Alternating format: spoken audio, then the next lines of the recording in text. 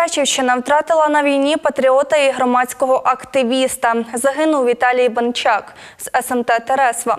Громадський активіст, відданий син і щирий патріот свого рідного краю, мужній український воїн, активний борець за правду і справедливість. Він завжди був у вирі революційних подій.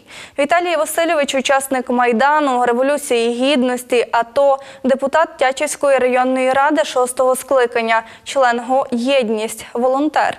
Він брав участь у важливих подіях району та патріотичних масових заходах, проявляв велику громадську активність і щиро прагнув та доклав зусиль для розвитку Тячівщини. Людина незламного духу з самовідданою і безмежною любов'ю до неньки України. Як справжній захисник став на її захист з перших днів війни. Так любив Україну, що віддав за неї найдорожче своє життя.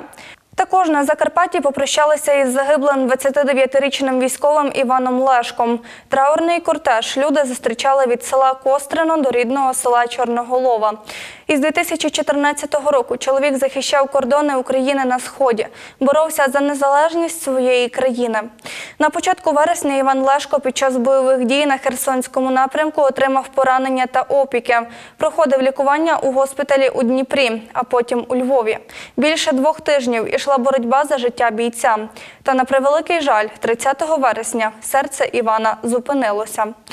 Вічна пам'ять героям та щире співчуття рідним. Схиляємо голови перед кожним, хто загинув у цій війні.